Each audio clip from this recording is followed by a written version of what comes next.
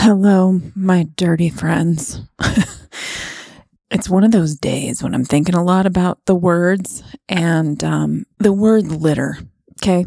Litter has come to have all these negative connotations, uh, you know, garbage associations. And I got beef with that because the origin of the word litter, the noun, is um, a bed, also a bed like vehicle carried on men's shoulders from Anglo French litter for portable bed. And, you know, I like the way that sounds, I like the way that feels. And then the verb version of litter, you know, to provide with bedding, that's that's one. And then meaning to bring forth or give birth to animals or or humans. And that verb uh, also came to express to strew with objects um, or to scatter in a disorderly way. Again, not a bad thing. So I'm not really sure how uh, how we came to associate.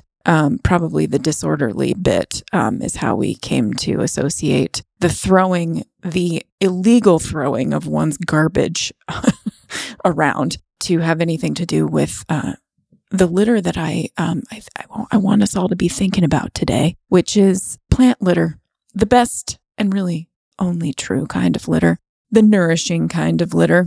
And I'm really excited about today's podcast because I had the great fortune of speaking with Dr. Francesca Cotrufo. Dr. Cotrufo is a professor and she is also the associate head in the Department of Soil and Crop Sciences and the senior scientist at the Natural Resource Ecology Lab at Colorado State University. Her background is in both ecology and soils, soils later, as you'll hear. And her work has been a big just a big find for me. Years ago i i came across one of her papers and i have been following her work ever since because i feel like at least for me it was a way of putting my own thoughts in order around why it can be so challenging to navigate the different results that we tend to see and study. If you just look at the literature around soil organic matter and farming practices and what leads to what. So I'm really excited to share this uh, podcast with those of you out there who um, are uh, recovering scientists like me or just very, very much geeking out over um, all the things. So without further delay, delay, um, I'm very excited to share with you this interview with Dr. Francesca Cotrufo, and I hope you enjoy that. And before we get to that, a word from Jesse and our sponsors.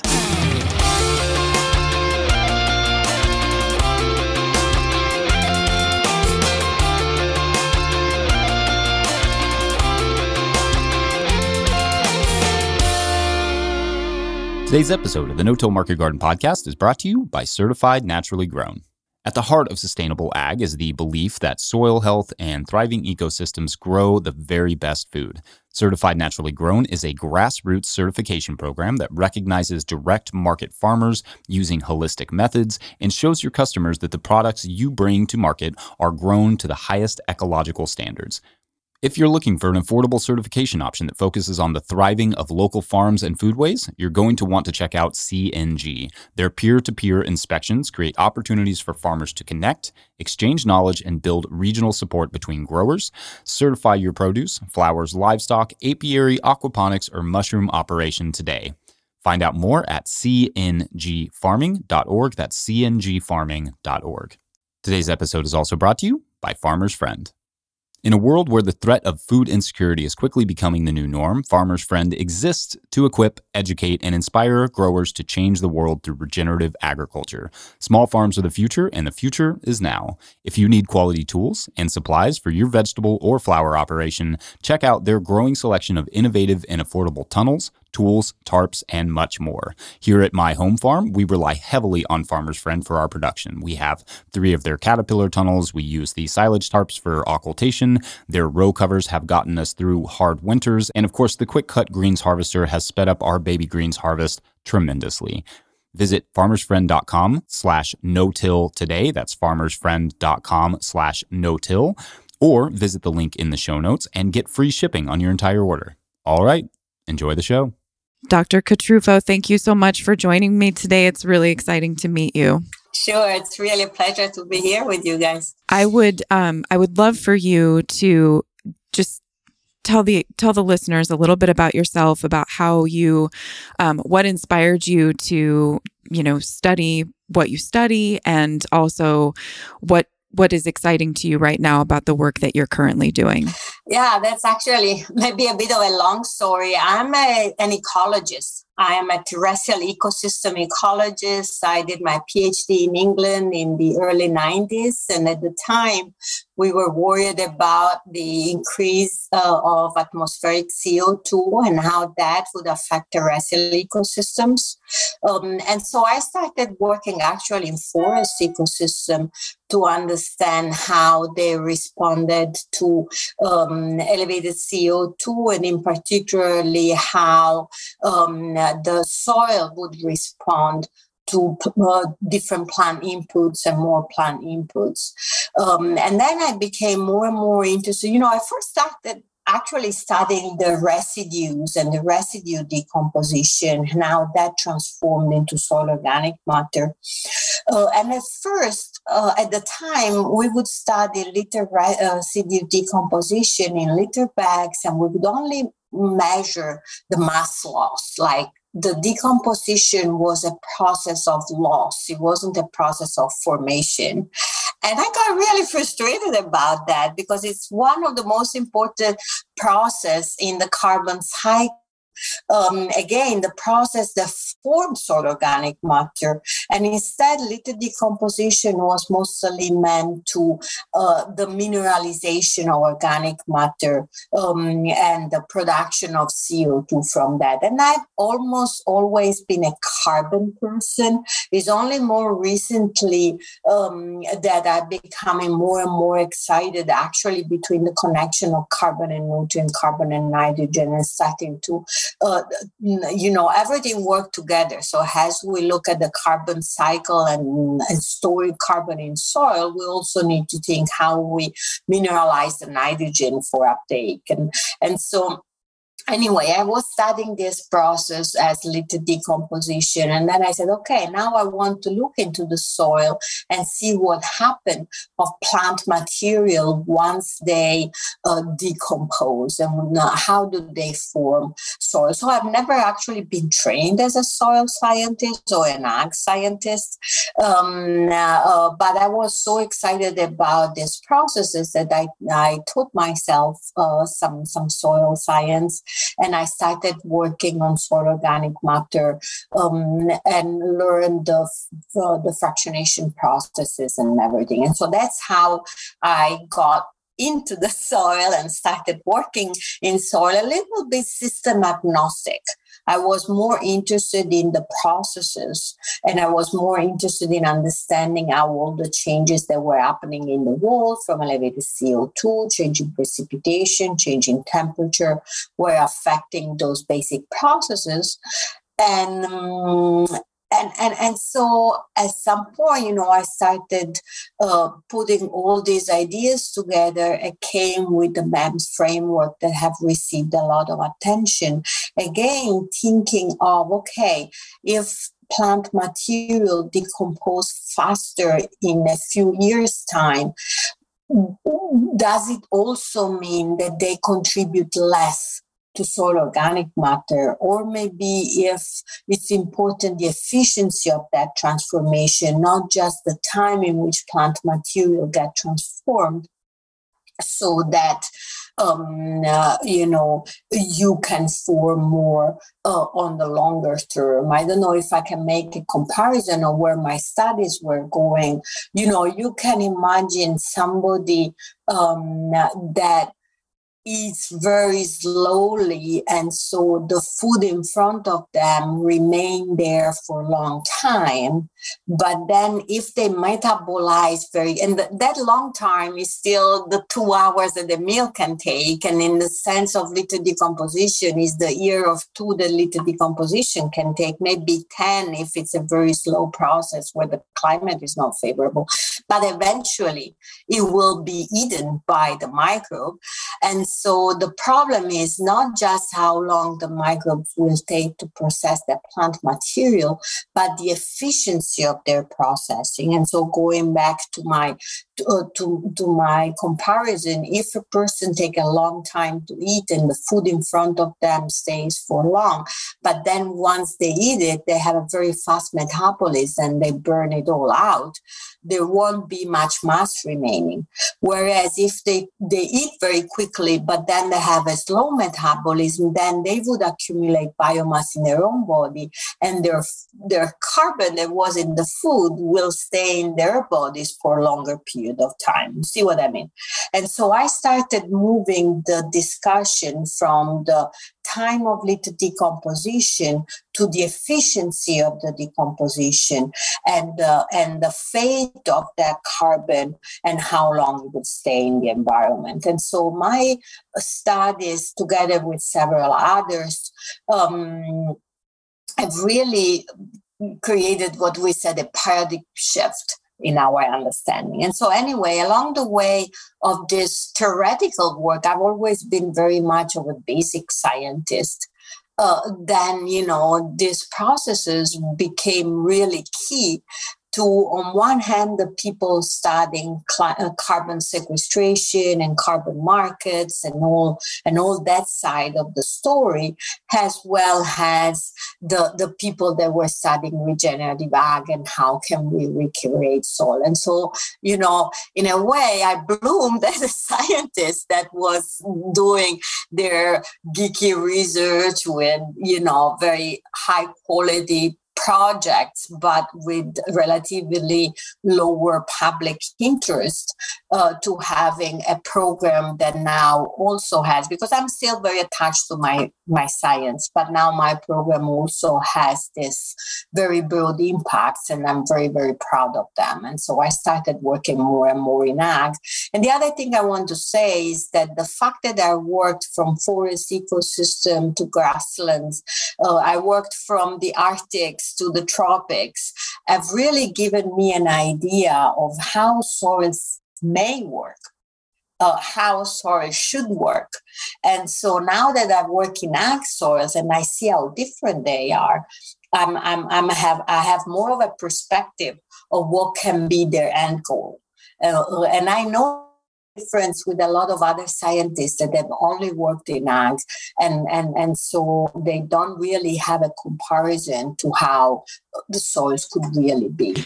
I think that's such a critical point that you make. And I, I feel like it's one of the one of the ways that I found your work was that you and I wonder if you think it's because you you came from outside of the sort of traditional agricultural soils science, you know, that that was a very stable um, pedagogy for a while where, you know, the the literature wasn't really keeping pace with what was happening in, in the ecological literature, at least, but for me. And one of the things that really appealed to me about, especially some of the earlier papers that I found, was this sort of process focus that you have and trying to understand the underlying processes that actually explain the differences that we see in the studies that show very different results. Um, it shouldn't be a surprise that in different systems you see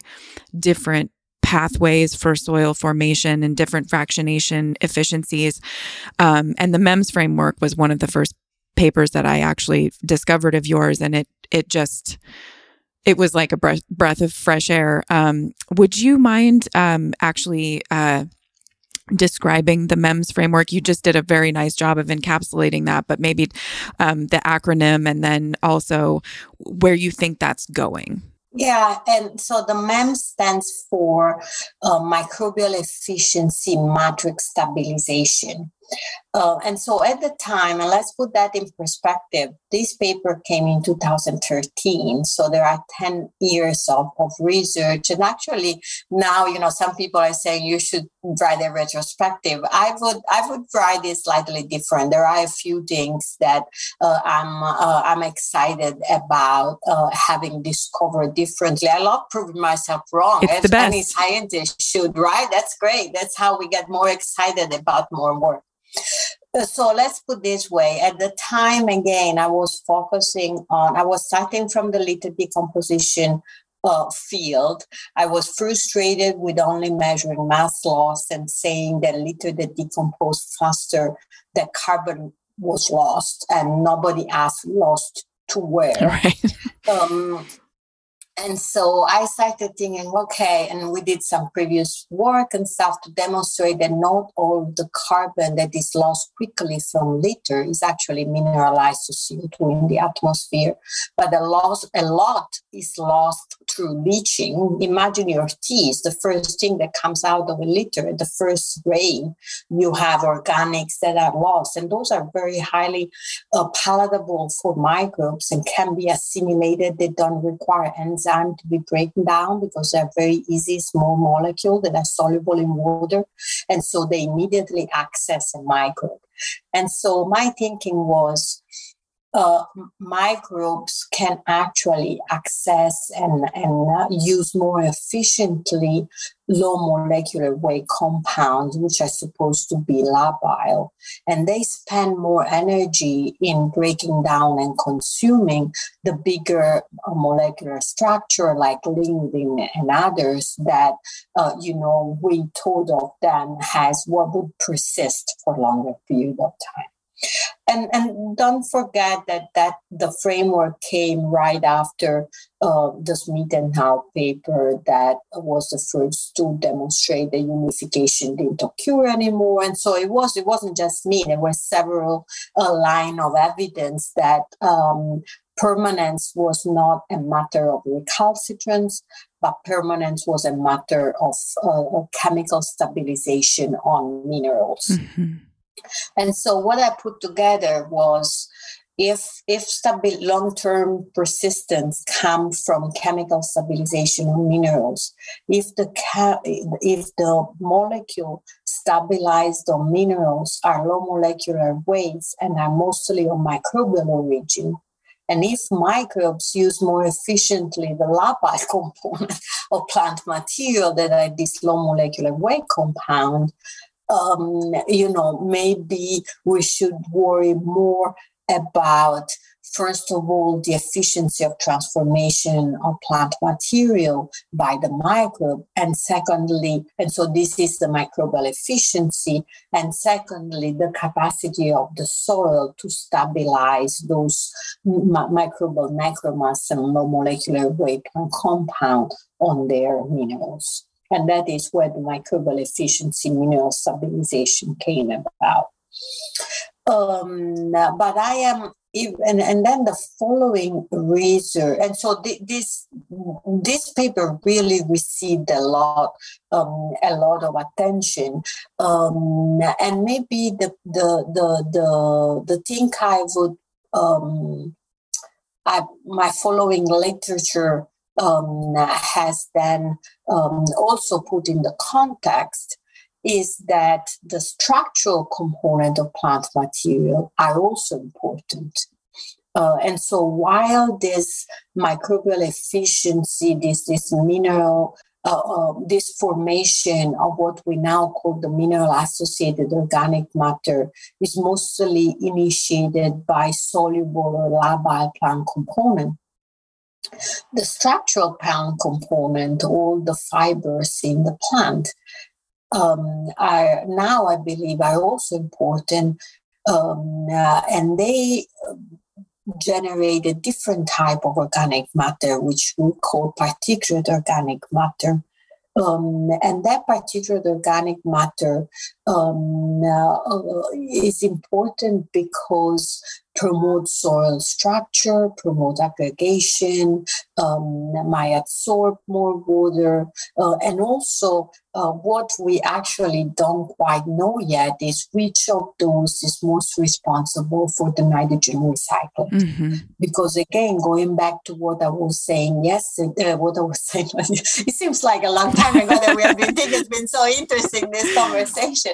Um, yeah, what I've been saying at your first question um, about um, uh, the the fact that we need to connect not just the carbon sequestration but also the other function in the soil, we need to think about um, not just what leads to more persistent carbon, but what makes the soil healthier, retain more water, maintain an active biology so that we can have the recycling of the nutrients, with another important um, function, very important function of soil.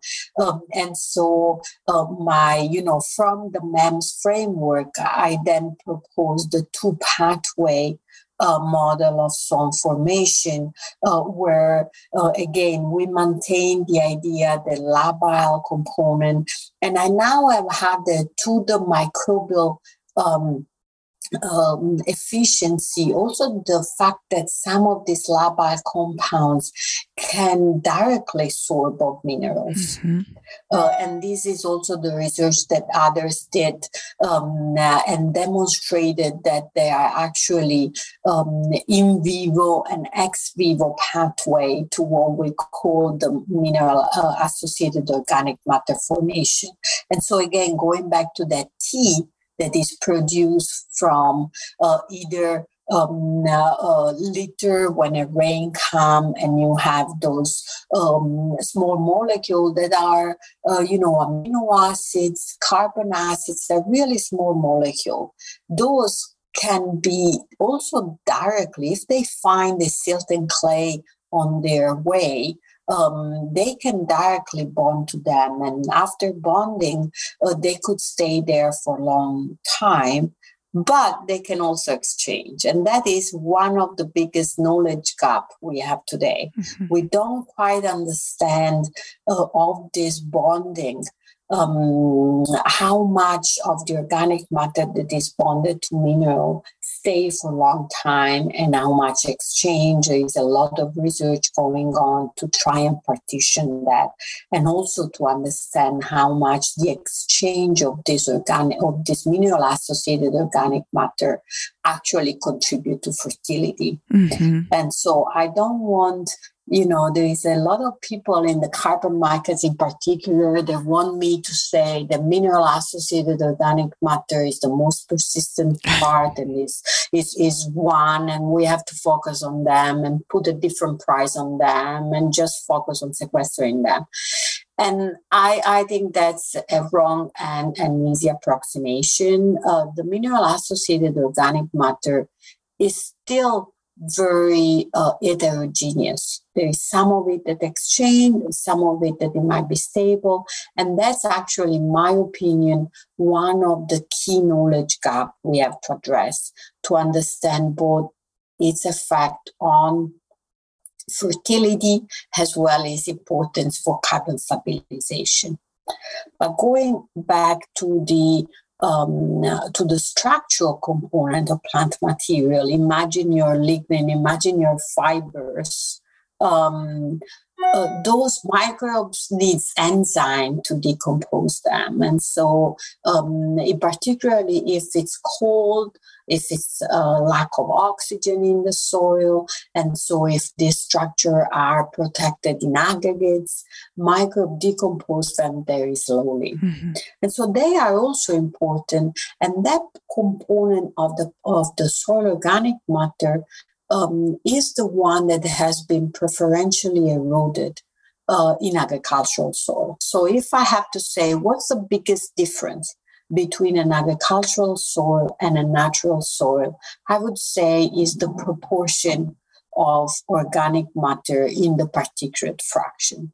And there are several reasons to that. That is the the lack the the, the lower inputs Um, another is the disturbance, the air disturbance. This is not protected and so it's decomposed. Um, and, and so while now people neglect that fraction, actually to me is one of the indicator of soil health and is an indicator of um, and is one of the fraction that we should try to increase in uh, in croplands. And I'm sorry if I diverged yes. from your original question with no, my line of thoughts. No, it's great. I really one of the things I I really wanted to talk about was that, you know, I, I do feel like, especially in agricultural soil science, we often forget that there's an architecture to function and that structure structure and function go together and that that um, particulate organic matter and and those I, I in the forest at least i always like to talk about the persistence of you know the um, the coniferous needles or oak leaves that have a longer persistence in the soil and how those play a very critical role it you know structurally and functionally.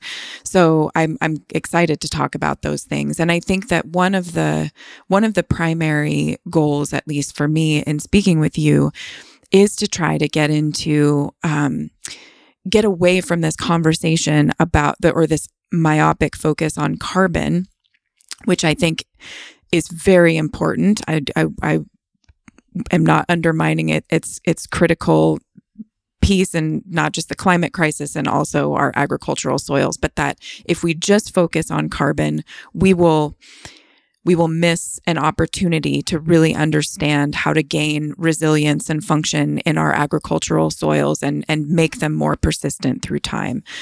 So um, saying that, I would like to actually get into um, some of the some of the more agriculturally focused.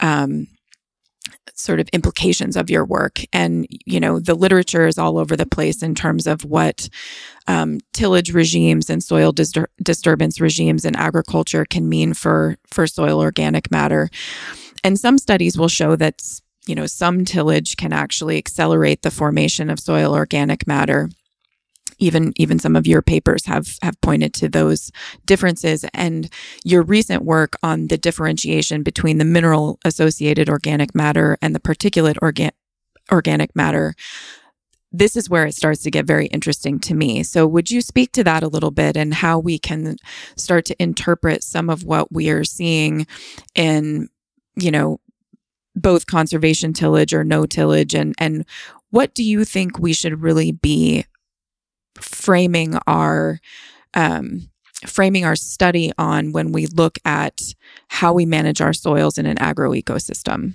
I think we should be thinking at the system. And it's never one thing um, and and so uh, you know natural soils are disturbed. There are animals that you know there's cabbage across them, and there are earthworms, and there are all kind of of things that move the soil up and down.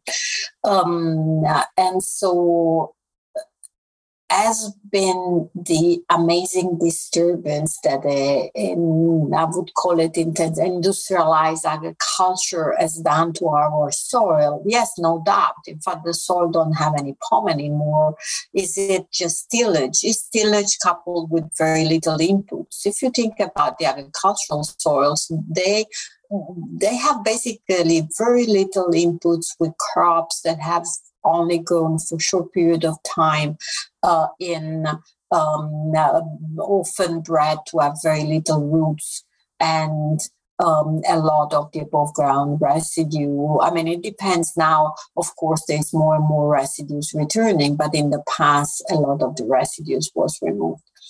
And so um, uh, there is no doubt that all together the past agricultural management has brought us to the soils that we have today, which are eroded soils, are soils that cannot, um, they, they, how would I say, they are not um, resilient to climate change. They have much more imbalance between years to years and so forth. So we need to do something.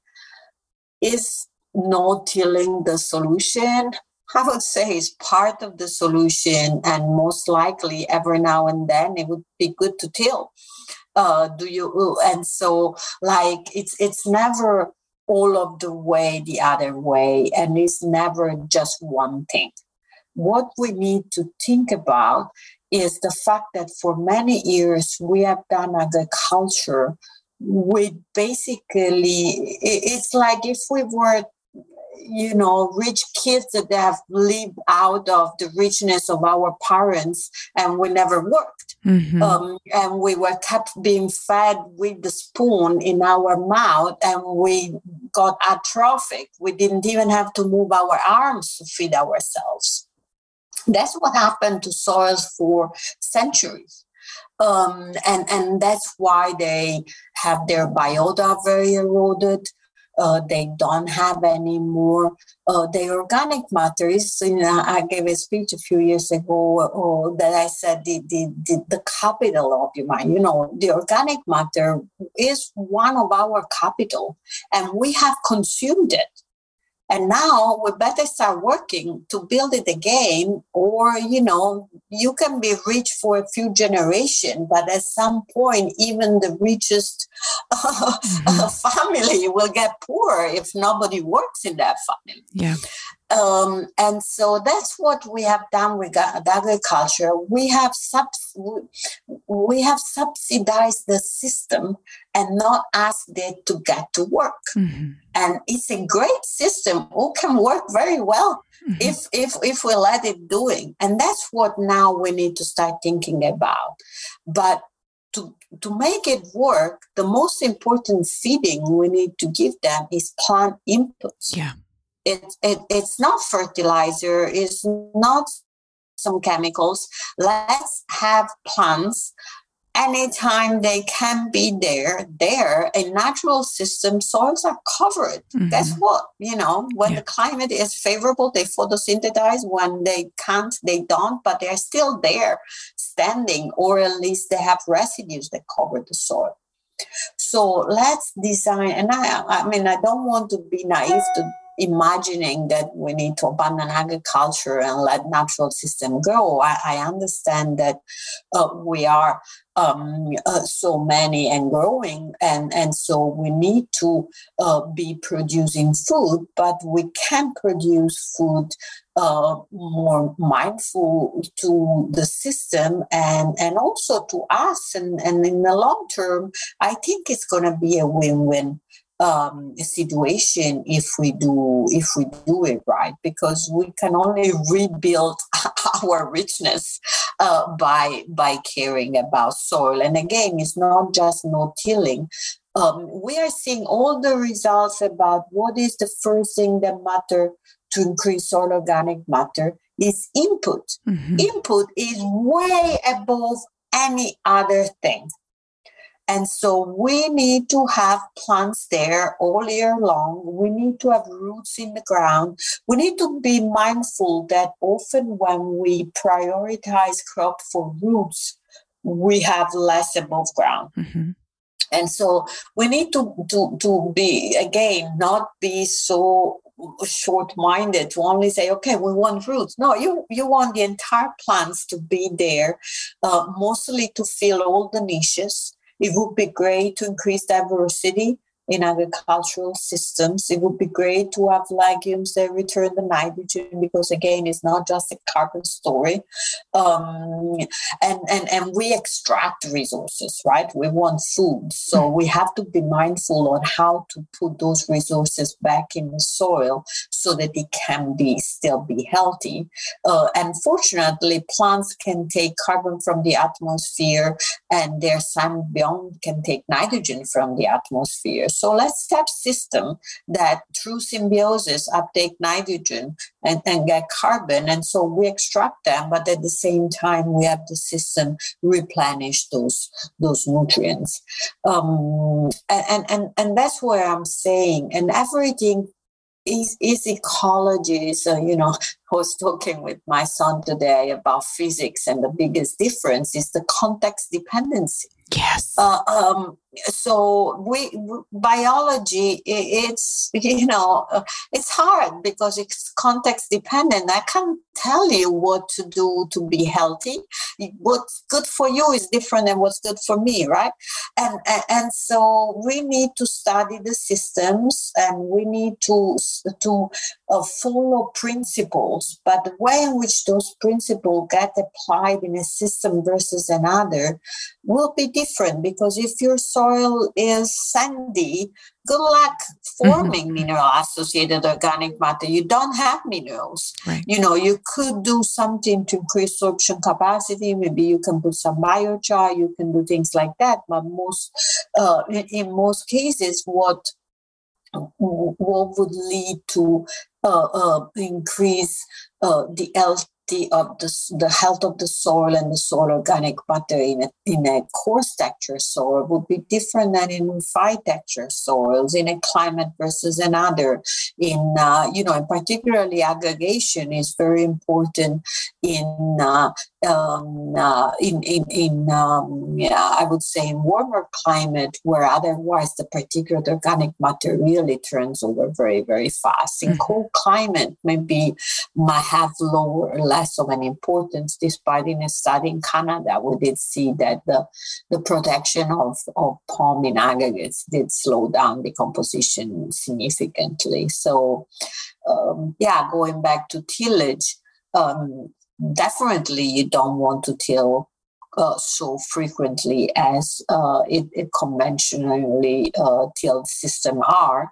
Um, but at the same time, every now and then, um, it an incorporation of the residue and aeration and and a, a recycling of the aggregates uh, might also be good. We have done some lab incubation that we we still have to. We're in the process of publishing that that shows that aggregated soils actually, if those aggregates are not broken and disturbed, they won't uh, uh, they want for more aggregate around the new POM. Is you, you need at some point to allow the soil to recycle, and that's happened naturally with um, with root inputs, with bioturbation, and all kind of stuff. Yeah, one of the things that I've I've observed um, in eliminating tillage from my system is that you know you once you're not creating that sort of oxygenated layer repeatedly um, you know your your cover crop or what grows on the ground natively or uh, volunteer or by seed you will eventually see a less vigorous um, plant above ground you know even if you're growing roots they just it doesn't produce the same amount of biomass as a cover crop that's been you know recently cultivated because there's all that organic matter being used. And so i think that what you say is is very helpful because tillage has become this um, well it's like a it's like a line in the sand that people stand on either side of and it's it's really the worst yeah. thing ever or it's or it's critical to feeding the world and i think that we really do need to start getting into the subtleties of both the cropping system the baseline health of the soil that you're talking about and where you are in the world and what was there before um, and i think that that's really where the conversation needs to go instead of you know chaining ourselves to um, one ideology or another. No it's never science. It's not right. the ideal. But the also the what I wanted to say, uh, and going back to the, you know, actually, uh, you might be familiar with Henry Janzen and, and the soil carbon yes. dilemma. Uh, we need the soil to, to turn over. Yeah. We want their we need to use it to turn over so that we can have the nutrients and we can maintain the, the, the health means that there are organisms in the soil that are biologically active and they are active because they can turn over that residues and stuff. And so again, you don't want to disturb it at all time, but you do want to maintain condition that promote um, some turnover, and uh, so you don't want to accelerate it, but you don't want to stop it altogether because that turnover is part of the health, is part of the return of nutrients, um, and so particularly if we want to uh, limit mineral fertilization, uh, we cut out mm-hmm. the decomposition of the residues. Yes, and so again, I think you know if you are for example, in a perennial system, um, the introduction and, and whether or not you have the ability to introduce animals to help turn, help, you know, kind of transform some of that above ground biomass and get that nutrient cycle going. Or if you don't have that capacity, are you removing the above ground portion and you know how much biomass do you have the capacity to put back into the soil i mean i think these are all these are all important questions and when you would do it that really help to sort of start to break down a a decision making framework that is is much more helpful and much more aligned with the scientific method than just saying all tillage is bad or you know if you don't till yeah. then you're going to have compacted soils it's much more complicated than that and and tillage also you know the responses to tillage actually vary um, also with climate. Yeah. So we have i mean don't take me wrong we have now we have another paper that is a meta-analysis so a synthesis of different studies and many other have been shown today. And particularly in the topsoil um, or, or, actually in the very very top, so like zero to five centimeter, uh, the the no till accumulated organic matter. So there, there, I don't think there is discussion about that. Mm-hmm. Um, but again, has does it. Is it a religion?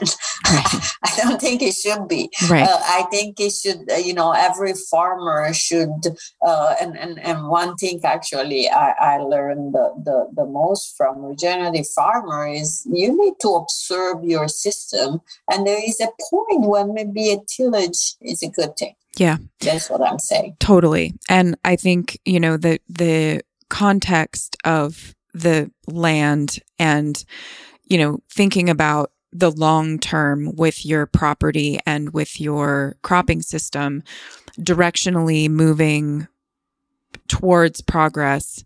You know, the, these systems, these soil systems, these ecosystems, they have natural fluctuations over time, but a trajectory of progress, I think, is um, is what we should all be shooting for. And so it would look very different if you are growing vegetables versus a poplar plantation or a, a ranch manager. I mean, I think one of the, you know, if we do think about residue management, it's something that you know it's common to talk about in in ranching, um, how much gets left behind, and sometimes in like haying operations or grass seed operations. But I think that we leave it out of a lot of other cropping systems. You know, for example, you don't hear a lot of almond growers or or vi- vineyard people talking about residue management and I think that we should be thinking about those things. And one of the one of the aspects of your work that I have really appreciated is that you you often will refer to soil vertebrates and and other soil organisms that aren't just the you know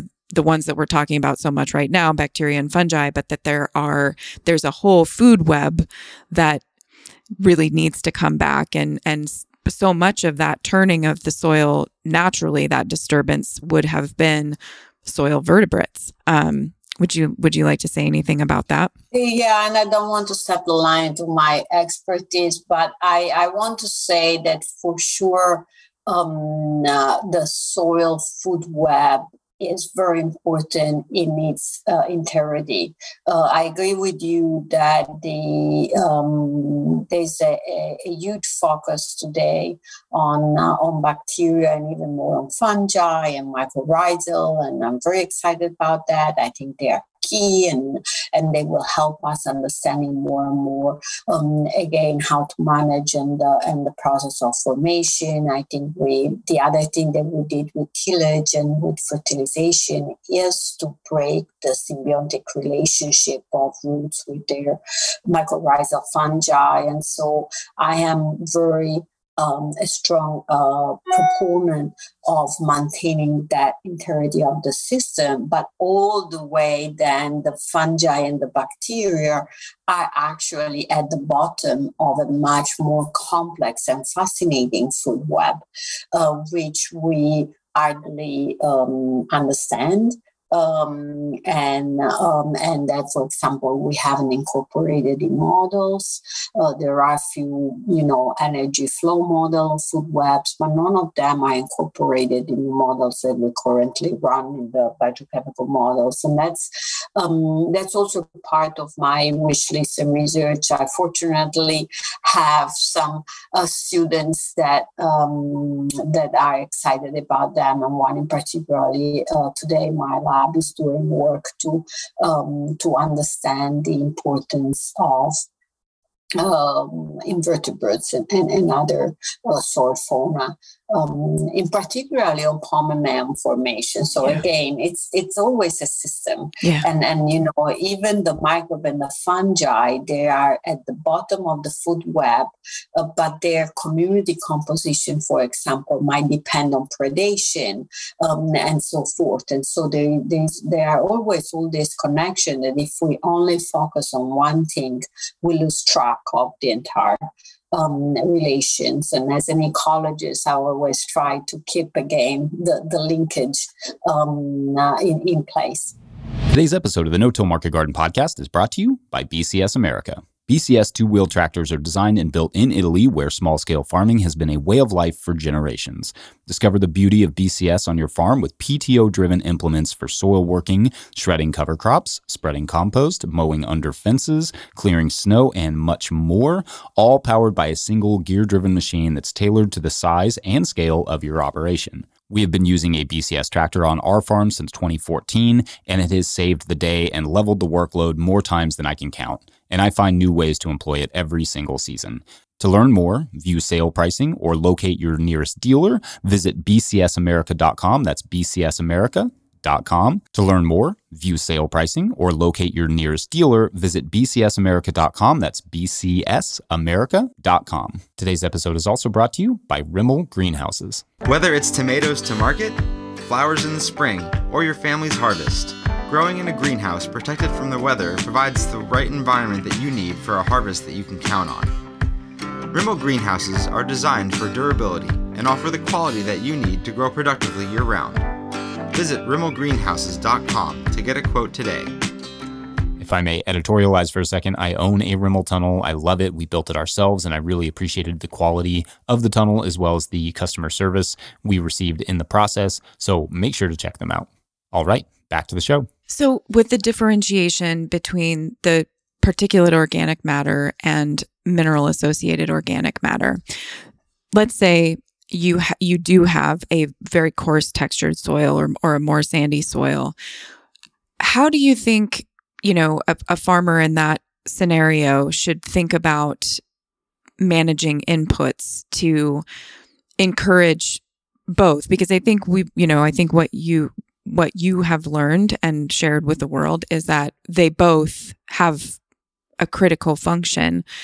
Do you think that they're the ratios should be because I know one, you know, the there's the saturation question and then there's also, you know, the sort of transformation process. But would you think about this differently based on this texture of your soil? Would you use that as a sort of, um, you know, starting point for your decision making tree, or would you start from somewhere else? I would. I would start from texture and mineralogy. Mm-hmm.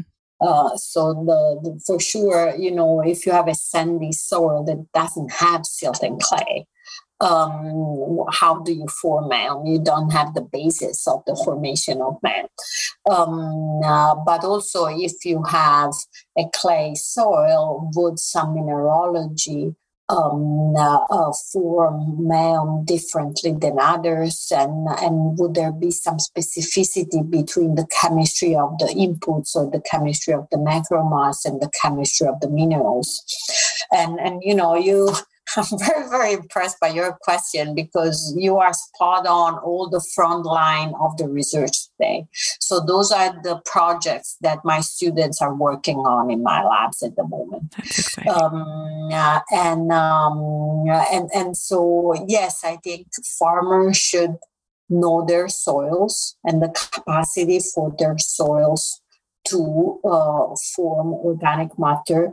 Um, uh, there is something that they can do to ameliorate that capacity if it's somewhat limited by different things. If it's uh, you know too acidic, or again if it's too compacted, uh, if if um, uh, um, if, if the, the, there are no um, no sorption sites, maybe again biochar or or or some sorbing agents would be uh, would be good to start. But then once they understand their capacity, that is not just the soil, but it's also and, and the other thing is that the soil is not the zero to 10 or zero to 20 that most people think about. The soil is, you know, one, two meters, depending where you are.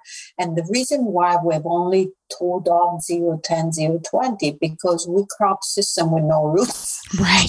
very, very, very shallow roots. And, and, and so if we start thinking about including some, um, you know, deeper rooted uh, crops. And fortunately, there is now a lot of breeders that are thinking more to breed for roots, but also including uh, deeper rooted um, uh, cover crops or, or having some perennial phase in a rotation and things like that. So now you start thinking about uh, a deeper soils, and there are soils that have a different capacity at different depth and even changing texture and so forth. And so you you shouldn't just think about your soil as your very upper layer yeah. of your soil when you assess the capacity. Um, uh, but then said that uh, also it's not just the soil, it's also the environment where you are. And so, you know, cropping system in, in, in, in a cold, wet site is very different than cropping in a semi-arid environment. But then within those constraints, you can think of designing a system that optimize formation of organic matter. And maybe in uh, and, and these are all um, working hypotheses. As i said we are thinking about those things and we are designing experiment to try and test those hypotheses. So don't take them as my um, uh, you know uh, selling points. Those are starting points yeah. of research. Um, but yes I, I am thinking that for example promoting inputs for POM formation and aggregation in more uh, uh, coarse um, uh, textured soils might be a, a, more of a winning uh, strategy to at least accrue some carbon in those soils, uh, whereas in uh, in in clay rich soils, you know, if you have more of the soluble and and and, and maybe a more legume system and so forth that doesn't um, decompose faster, but if it decomposes efficiently, you can form um, So th- this is more or less my line of tools on which we are currently doing research. So I, d- I don't know if it's if it's true or not. Well, I love I love that that's the direction that you're going because I often think that you know traditionally farmers go farmers and ranchers they get help from agronomists and um, you know, crop scientists and we we might start to think about the inputs of like let's say changing your soil pH or changing even the soil texture with an addition like biochar or a rock dust or something like that to try to get some mineralization sites that we should be thinking about probably that before. The, soil fertility to be most conducive to creating a soil environment that then is best for any crop but but you know I feel like we've really put the cart before the horse when we've thought about creating soil conditions that are just for one crop Yeah, and one, one way in which we we think, in particular in the ecology biochemistry, is thinking about plant traits, new traits, you know. And so now we, we are thinking about what are the, the input traits um, that are more conducive to form organic matter, or to generate fertility, and in which uh, and, and, then you need to pair that with a different source. So that's how we are kind of uh, actually have another student of mine who's thinking that direction. That's interesting.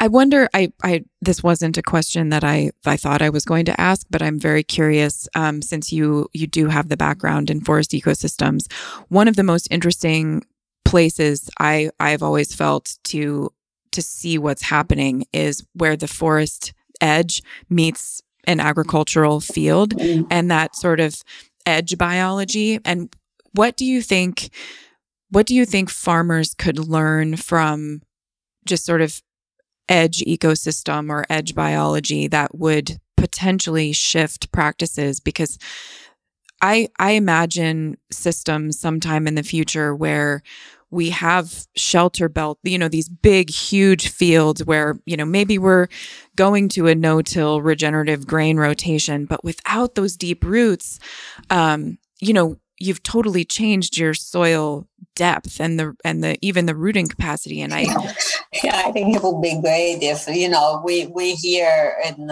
colorado we have more like the the, the grasslands um ag, you know the and, and for us it's a short grass steppe really yes. that uh, and so it's not that productive of an ecosystem but still we we used to have we stopped with the covid and we haven't restarted yet we had a um, a soil summer institute and one of the things that we used to have our students doing was to collect soil in the ag side and in the shortgrass um, um, pretty adjacent to, to each other. And, and so to answer your question, really dig a pit in your in your natural system that once upon a time used to be your ag soil and see how it looks like. And you'll see roots and you'll see fauna and you'll see like again we did a, a comparison of the soil food web across an ag system and grass and it's huge. Mm-hmm. huge. Yeah. The the food web is so eroded and and we started off looking at the effect of biochar on the on the soil food web in a cropland. There was no effect because it was hardly anything to yeah. start with. Yeah. Um, and so uh, once we compared it to the grassland, we realized that we were really, really looking at such an eroded food web that you know. Uh, I think you can actually do more harm to it. Mm-hmm. Um, and so, and so, yeah, and the same is the roots and the deep roots. Again, dig it deep, and and and uh, and that turn. Actually, we are thinking about that now on the other perspective that a lot of the labs, the soil testing labs, um, have conventionally treated agricultural soils which means that they have developed protocol for soils that have no roots and no gravel. Mm-hmm. and now for the carbon markets and stuff, they have to process soils which have roots and gravel.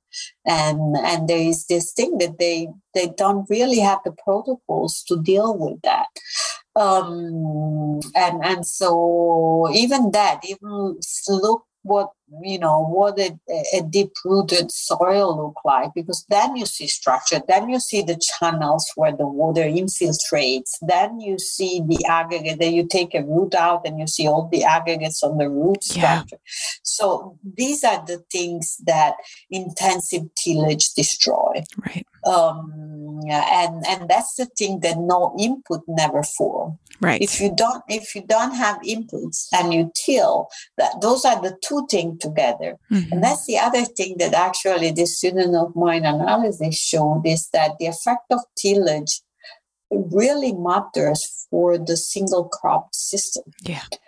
If you start doing regenerative system and have you know intent, a uh, more diverse and continuous rotation. So if you do everything health well you can you know tillage stop having a big effect Right. Uh, and, and and so that goes back to what I was saying is the entire system. And if I have to say one thing is input, input, input. Mm-hmm. Let's not have those dark soils. Yeah. You know that you drive, and and if it's not that short three months period, uh, it's dark soil or you know that's also bad for albedo and yes. let, let's cover those. So this is all energy that is lost. Yeah. It's all energy that is lost. There could be a plant there that uptake you know free energy. Yes. Um and there's that, so that, much of it. Yeah. So that that's to me is the the most important thing is let's keep a continuous rotation as much as possible. And I know that there are systems with water, and I know, and I'm not an agronomist, so I don't pretend to know the solution there. But as much as we can keep that soil vegetated, uh, that that will speed everything. And then it's almost a no-brainer afterwards, in my opinion. Will kickstart the system again. I agree. Yeah. Would you would you talk a little bit more about aggregation? And I think a lot of, you know, it's in it's in the conversation a lot, but especially at the practical level, I think many land managers they know aggregation is important, but they don't really know why. And if you wouldn't mind just talking a little bit about the aggregation process and what what practices and what um, what what you might be thinking about in terms of how to promote aggregation and you know how that might relate to either what you're growing or what your original soil texture is. So i like that you start talking about aggregation has a process and not aggregates as an entity. And I think that in soil science, the problem, in my opinion, has been that the measure of aggregates um, has been interpreted as a measure of different pools. Mm-hmm. And that has actually maybe reduced slow down our advancement because we within an aggregate you can have both POM and MAOM. And, and, and so an, ag- uh, an aggregate is a, a physical state for some component of organic matter to be at some point in time in their in their life. And so while aggregation and studying um, uh, the, the soil structure is very important, I don't think that it's helpful to say so much carbon is in macroaggregates and so much carbon is in microaggregates because they are much more heterogeneous and dynamic.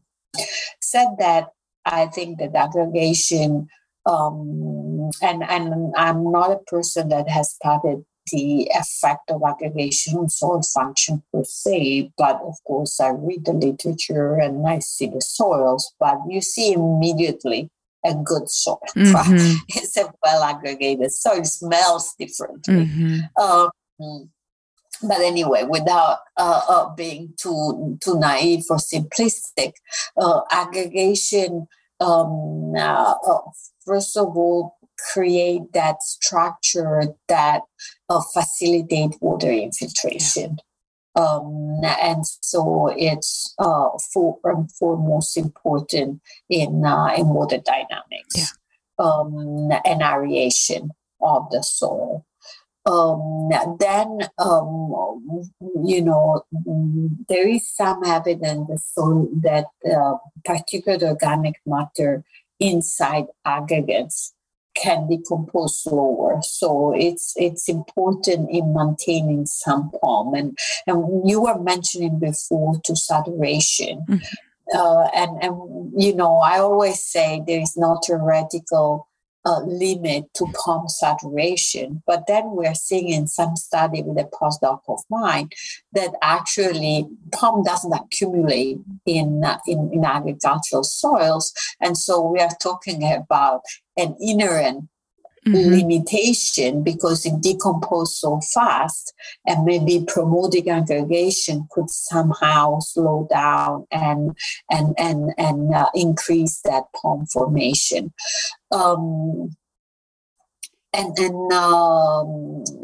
yeah, and, so, and then there is a lot of other, uh, you know, effect on earthworms and the soil food web and all those other um, those other evidence. Again, I, I, know more from reading the literature. I am not a person that actually have studied aggregation per se because I focus more on this um, tools. Mm-hmm. Um, uh, and uh, but but now like we, we have developed a, um, a mechanistic model and so we have been wondering whether we should represent aggregation or not um, in uh, in the model and the problem with it's not that we don't believe it's important, but the way of for quantifying it and mathematically representing it's important is not really straightforward and it's not um, that well documented in, in the literature. So there is much more, um, uh,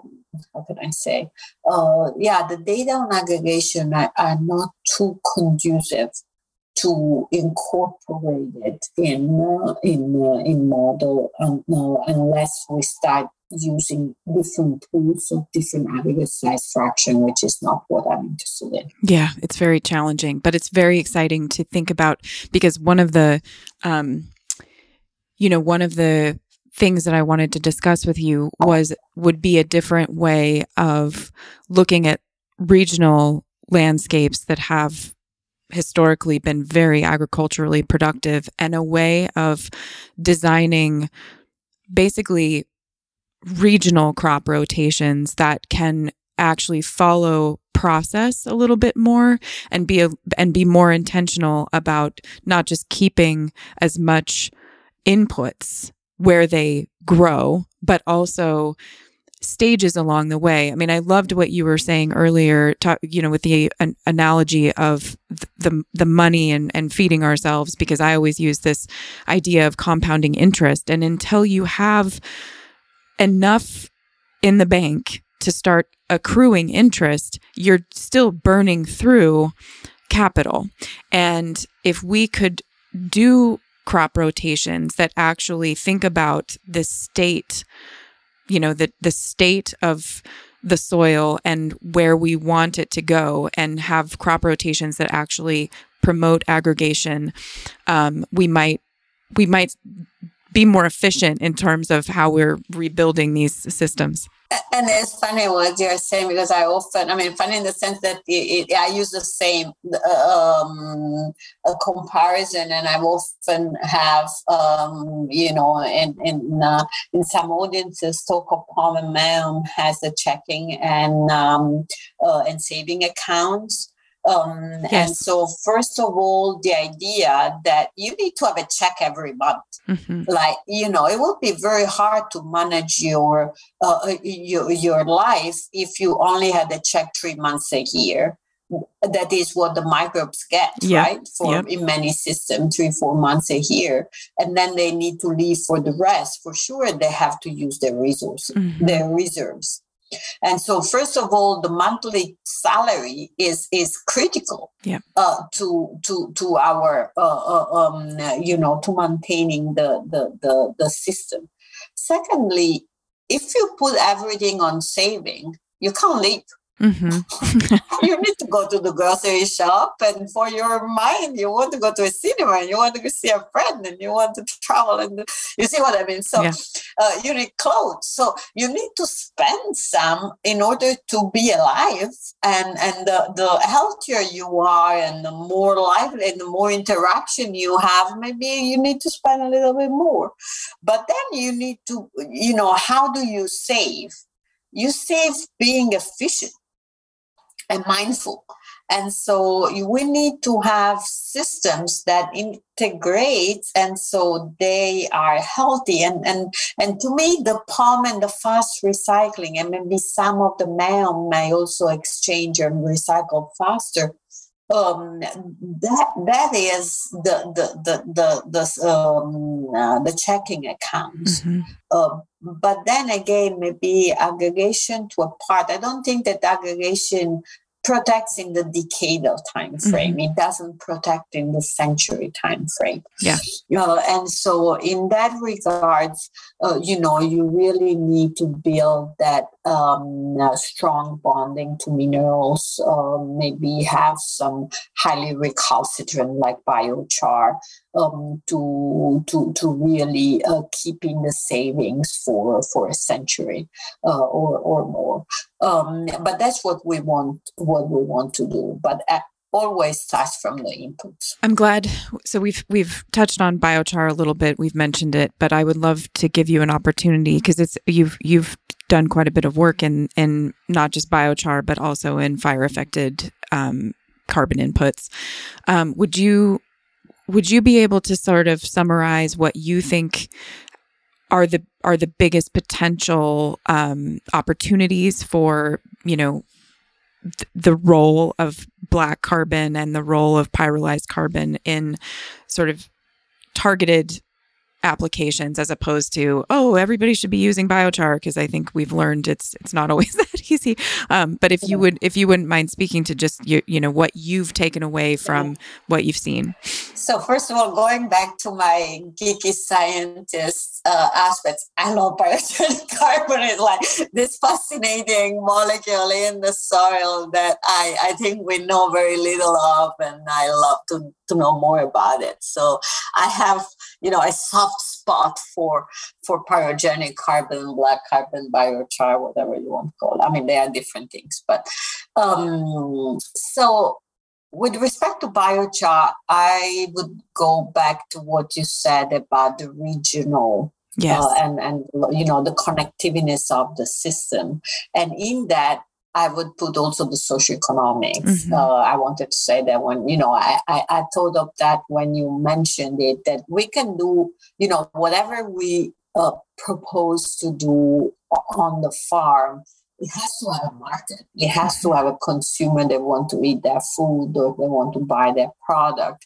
And so when we design those those systems, it is important that there is an elevator for each of the grain that we say that should be produced in that community and things like that. So that's also to keep in mind. But Yeah. when it comes to biochar, in my mind, biochar makes sense when you have a region uh, or a community that produce some organic waste uh, that is a problem or at least is not a resource doesn't have a place to be used. And so it can be pyrolyzed. And if you use without excessive transportation and without excessive consumption of greenhouse gases to harvest the residues and to transport it you pyrolyze it with an efficient oven that doesn't flare uh, gases into the atmosphere and that capture the heat and maybe use it for drying or use it for warming uh, Greenhouses. yeah and and and so then you have uh, you know the energy use the, and then the biochar uh, can be added to the soil and I personally believe it's beneficial. To be honest, in my experiment in, in Colorado, adding char to alkaline soils in a dry system almost never moved the needle in terms of crop Mhm. um, performance fertility performance. So I can't say that, uh, you know, yeah, you have to put biochar because your soil miraculously will grow twice as much food. I ha- I didn't have that that experience. Uh, I could imagine that again in acidic or uh, coarse textured soils, you would have a different uh, a different result. Um, uh, but at the same time, mm, it's not harmful. Um, it does increase carbon if you incorporate. Don't Mhm. ever put biochar on the surface and don't till it in because it will be wind blown somewhere else. Mhm. Um, so the char is something that you need to at least crave it in and incorporate into the soil. Um, it will stay there, and in my opinion, would would mostly do good or nothing. Uh, Mhm. at least we'll keep the, the carbon there for a significant period of time. I think it can help build structure, it can help build aggregation, um, uh, and and so forth. Uh, but but it makes sense only if everything we said before makes sense. Yeah. And so you don't want to import or coconut um, yes. Uh, you know, not uh, biochar from somewhere else in the Southeast Asia that has been shipped to you. That to me doesn't really, that, uh, you know, I'm not an expert in life cycle analysis, but uh, I, I, I would be skeptical of thinking that a biochar like that would pass the test of a life cycle analysis. Uh-huh. Yeah, I think you're exactly right. And I, I you know, I think about these sort of mountainous regions where we have um, we've we've had a long time of forest management that has excluded fire, and we have some sort of overproduction of carbon, and those often are directly adjacent to some of our most fertile valleys, and that there could be some real synergy in thinning efforts and redistributing carbon where it really could be yeah. very helpful. And, and again, you know, the other thing that fascinates me of regenerative agriculture is that a lot of that is really going back to the roots of a lot of indigenous and, and uh, cultures and, and practice. And fire has been, uh, you know, and uh, within agricultural systems in favor um, and and there you know there is a reason for it. Yeah. Particularly in grasslands it does accelerate you know the the, the nitrogen uh, to turnover and if it's not you know as, and and having it more frequently avoid the buildup of, of dry biomass that then burn the soil. Yeah. The fire is really bad when it's a soil fire. Yes. And, and then you burn the organic matter. What happened in the Arctic, where if you know you have that going forever in the organic layer, uh, and, and, and those are really the dangerous fires that will put a lot of carbon up in the atmosphere. Yeah. But the surface fire on a grasslands they leave actually the live grass there and never touch the soil but return the char to the soil uh, um, they have been used for forever by yeah. the indigenous people and and they have maintained um, particularly savanna's grassland system in uh, productive and what they are because without the fire a lot of grassland would, would become woodlands right yeah i mean a lot of their biology is very tied to that yeah. fire cycle. So, yeah, I think especially when when thinking about rangeland, um, you know, cattle operations and and the you know fire is becoming more and more of a a part of our our yearly life and not in a not in a cool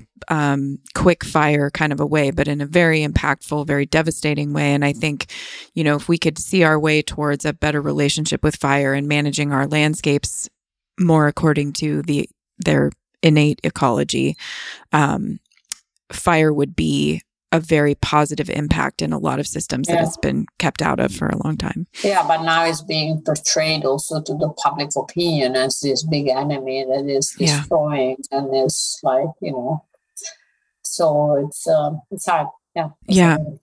What do you? Um, in your in your mind, you know, if you could just do a uh, a thought experiment where, you know, most of the really obvious constraints are removed, what would you like what would you like your work to change in agriculture? What would what would ideally be a result of you know the the work that you've done and what you've learned? How could that be expressed on the land in a way that that you feel would make the biggest impacts?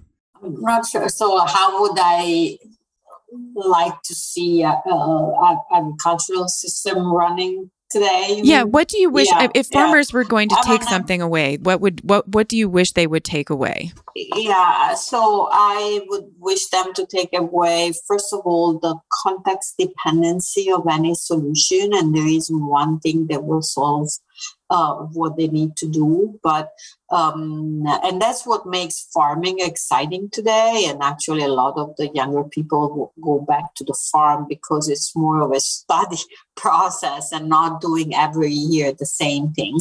And so, look at your system, understand um, the potential and what hasn't worked. Um, and most likely, um, if you can find a way to intensify and diversify your crop cropping rotation um, uh, by including um, uh, different um, uh, plant functional type and in particular the legume within the rotation so that you can also reduce uh, mineral fertilizer application uh, also by having a more diverse system and um, and having functional type that can sustain as we were saying all the food web and, and, and possibly, you know, you can start doing some pest management with biological pest management and not um, and not having to uh, to spray. And again, I, I I'm not necessarily like saying you have to be certified organic or you have to not. You, you know most likely to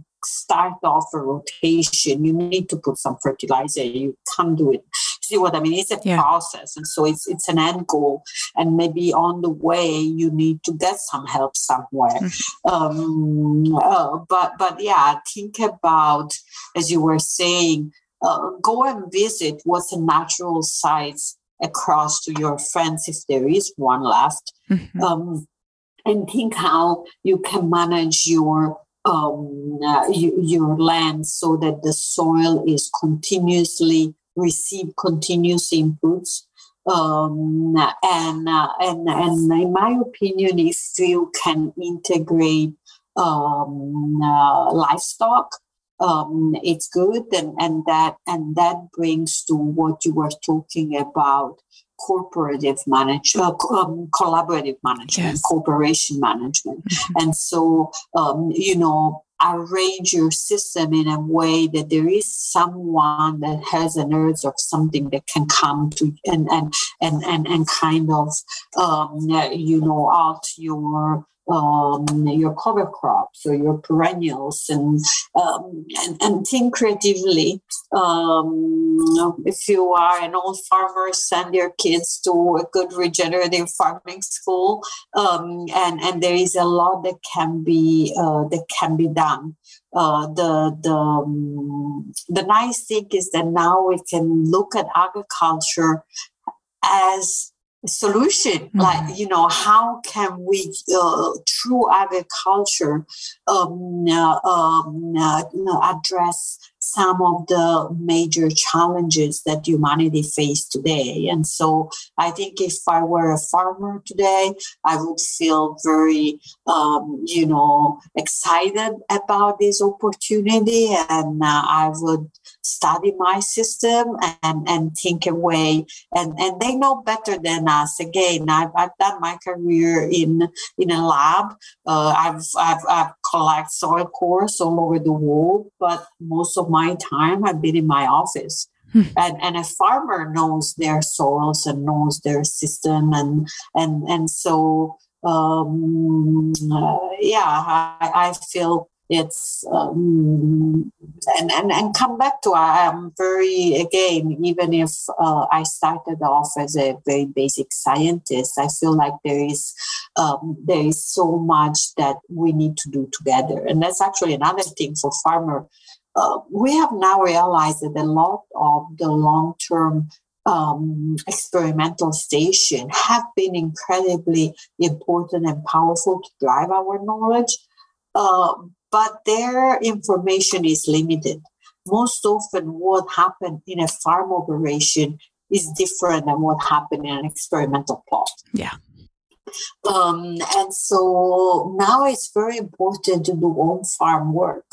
Uh, and so the other things I would say to farmers is, you know, come to, to the university, respond to our surveys, you know, be part of some of these studies because we can learn from farmers and i think they might accelerate their transition if they work collaboratively with um, uh, with a lot of the entities that are you know forming today i agree You've been super generous with your time. And I just want to close by asking you if you have anything you would like to say um, to anybody listening about, because, you know, carbon is the word of the day. And you've you've been a, a carbon um, a carbon person you're you, for much of your career. But would you would you like to say anything about the potential trade-offs between focusing on just soil carbon and the you know the the opportunity cost of potentially building some more durable structure and function. Do you have anything you want to close by saying about that? I again carbon gets together with a lot of other uh, nutrients and and and, and thing and so um, i personally think that there are no trade-offs of building organic matter as long as in the building process we also let some of it transform um, and so we we cannot uh, think of uh, having system where the input is locked in the soil. We have to think of efficient system that locks some and let the other go. So if we let that, if we think in that way, um, then I don't see trade-offs of wanting to uh, increase carbon in uh, in soils. Eventually, you know, carbon require nitrogen to to to stay in the soil, and so we'll need to think about that nitrogen management. That doesn't mean that we have to fertilize because otherwise it would be, you know, totally wrong from the carbon standpoint um, with mineral fertilizer. Um, uh, but again, putting legumes and so forth, we can do that. But going back to the uh, what is wrong is what we, have been saying all along is to just focus on one thing. Mm-hmm. Uh, so it's not the carbon per se. The carbon per se in the soil is a good thing. Yes, it's, it's, it's, our obsession with carbon um, that it could be a wrong thing if we lose track of all the other elements of soil health and, and sustainable agriculture, regenerative agriculture, and so forth. Um, is it a great thing to take carbon off the atmosphere and put it in the soil? Yes, it is. And does humanity uh, should should do all they can to do that? Yes, they should. Should we focus our attention on that in the meantime and, and think that we are good and we don't and we don't need to um, uh, um, uh, to, to, to, to get off of a fossil fuel economy. No, that's wrong. So I, I don't think that um, I, I'm despite I'm all in carbon credits, I'm very worried about um, about carbon credits. I believe in carbon sequestration. I think we should and we can remove uh, uh, carbon from the atmosphere and sequester in the soil. Um, I am worried that that carbon sequestration uh, can be quantified and you in, in, with the accuracy mm-hmm. that we need to offset um, and so that's where I'm I'm working hard to to make sure because you know the economy will go the way they go. And if carbon markets the only thing i can do is try to have the most accurate carbon value. Mm-hmm. so so that you know that's where i feel like i can do. But um, I, I wouldn't want to be seen as a person that since I try to be accurate in quantifying carbon sequestration, I'm considered a person that is uh, in favor of offsetting existing uh, uh, uh atmospheric emission with estimated right carbon sequestration, even if estimated by my lab. You see what I mean? Right. Well, I think thank you. That's a beautiful a beautiful way to end this and I think food for thought for everyone who's thinking a lot about these things, not just farmers but also people um, people involved in policy and and city planning and all of the things. I think we have like I agree with you wholeheartedly. We have very big reasons to be optimistic, but this is where I will just make a plug for um, you know foundational um, education for all of our farm and future policy children to be very fluent in ecology and I think that's what has made your work so impactful as a, a, a, very systems approach to what you're looking at, regardless of your background or training in it. And I, I just want to thank you so much for your work and, and for being with me today. It's been so great to speak with you. Thank you. It has been really a pleasure. Well, I hope if you ever make it to the West Coast that you'll, um, you'll let me entertain you and and pour you a glass of wine and we can take a walk and look at some things in the field. That would be really wonderful. I would love that. Yeah i'm, I'm now in uh, in naples but i'll be returning in june to the us and so you know, it would be nice to visit you there. I would love that. Well, thank you so much again, Dr. Cotrufo. I, I wish you the best in your uh, extended stay in Italy, and we'll look forward to having you back in the United States. And please carry on with your very good work. Uh, we all appreciate it. Thank you. Well, I think you'll probably agree with me that Dr. Cotrufo's uh, very charming Italian accent makes that all the more fun to listen to, but what a lot. And as soon as we were done, I had about 10 million other things that I wanted to ask her. I think we're definitely going to be lifelong friends. And I think hopefully uh, we will all sit back for a moment and reconsider our, our jobs as farmers and land managers in the context of litter management and all the cool things that we learned about today. I was out this morning in the forest and found a bunch of springtails. If you if you know springtails, little collembola, my favorites and they were working on a bunch of oak leaves um, on the forest floor, and they were also crawling up the bark of one of the oak trees. And these are the things that you know you can easily miss because we you know we have jobs and we have too much going on but i think that when we really think about the food webs that we're a part of and really see them and think about what we do and how it relates to the to the pieces and the and the members of our food web it puts it all into a different perspective. So I am very grateful to Dr. Cotrufo for her work and for how she translates that and for her willingness to stretch her own boundaries and, and break into areas of study that draw her curiosity because I think that she's contributed a lot in a space that she didn't have a particular background in because she because she didn't have a background in it. I think that allows us to challenge some of the paradigms that need challenging. And so I got a lot out of that interview. I think um, if you're, you know, if you follow this topic at all, you've probably gotten so much out of some of Natalie's interviews. And if you haven't checked it out, I, I highly recommend her um, her series, uh, Priming for Production, um, which is just excellent. So anyway, from the from the soil.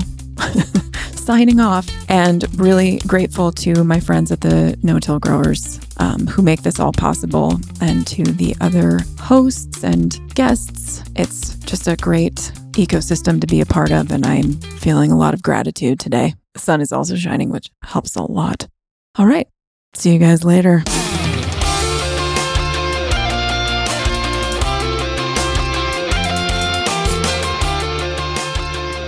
You all, Farmer Jesse here, just jumping in real quick to catch you up on some of what we have going on. First, Hannah and I are hosting a couple small farm events here at Rough Draft Farmstead, like coming right up, one on April 25th, 2023, and the other on May 9th, 2023. There will be hands on demos and a farm tour, and we'll dive into some of our growing systems. Uh, we will put a link in the show notes. The details are at roughdraftfarmstead.com or at the no-tillgrowers.com forum as well. I will also be presenting with Dan Kittredge in North Dakota at Menoken Farm for the Burleigh County Soil Conservation District. No idea if I pronounced any of that right, but my presentation will be on regenerative practices on a small scale. That is on May 2nd. 2023. So all the details for that will be linked in the show notes as well. Also, we asked you all a few weeks back to do a survey, and you absolutely killed it. Uh, but we have one more, much smaller survey that we would love for you to complete about no till growers specifically. Uh, link to that in the show notes. That is very helpful for our work. Oh, and uh, if you haven't already, check out the No Till Growers YouTube channel. That thing is back up and jamming again for another season with lots of very good guides and informative videos for everything from onion, tomato, pepper, and spinach production uh, to demystifying the tomato grafting process and simplifying compost production, all sorts of good stuff. Go over to YouTube and search for No Till Growers and subscribe. If you loved this podcast episode and would like to support our work, you can pick up a copy of the Living Soil Handbook at no-tillgrowers.com or one of the no-till hats, which are back in stock.